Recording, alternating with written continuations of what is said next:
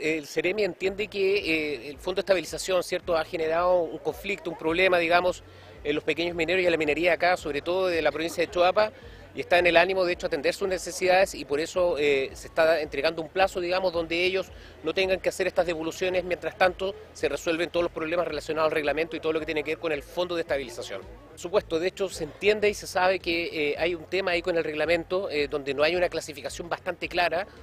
respecto a lo que son los pequeños mineros, los que son artesanales, los que son pirquineros a menor escala, y tiene que haber una clasificación un poco más clara de manera tal de que el reglamento no se aplique de igual forma. Se sabe, se entiende que el reglamento no puede, eh, para la grande minería, no puede ser aplicado tampoco eh, de la misma forma, digamos, a los pequeños mineros. Así que eh, con esta mesa y la, intención del CEREMI es que en conjunto podamos lograr un reglamento que sea bastante beneficioso para los usuarios.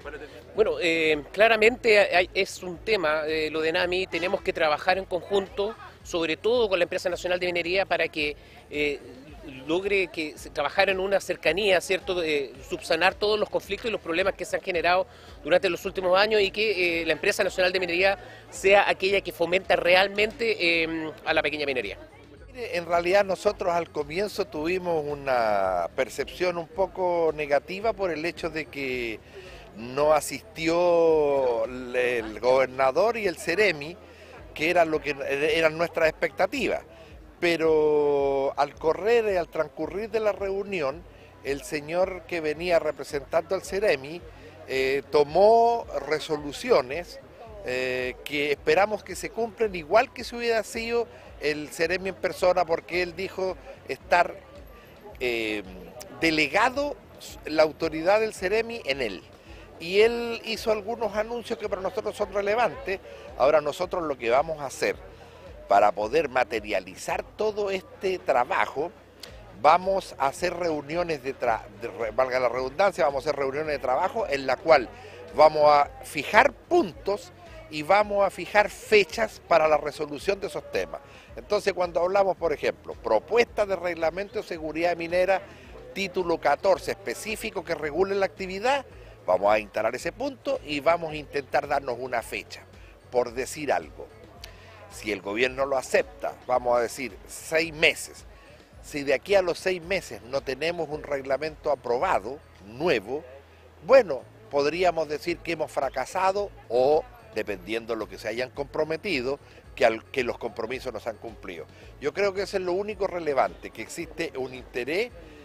de fijar reuniones y fijar fechas. En la medida en que eso se materialice, nosotros por lo menos, ¿qué es lo que esperamos? Que el sentido de urgencia que nosotros sentimos sea compartido por la autoridad política. Si logramos eso, vamos a haber tenido éxito en nuestra gestión. Bueno, mira, bueno, esta es una de las primeras reuniones que hemos tenido la oportunidad de poder conversar con representantes del gobierno. Eh, estuvimos esperando al Ceremi de Minería, llegó, eh, mandó un representante en el cual venía con todas las facultades que él nos expresó tuvimos la oportunidad de poder eh, decirle nuevamente un tema que venimos hablando hace cuatro o cinco años, referente a los estatutos, los reglamentos, que hoy día eh, las leyes, que siempre dijimos que había que hacer unas leyes o estatutos diferenciados entre la gran minería y la pequeña minería, entonces hoy día se le aplican una cantidad enorme de reglamentos y exigencias a los mineros que se les hace imposible muchas veces poder empezar a explotar la minería.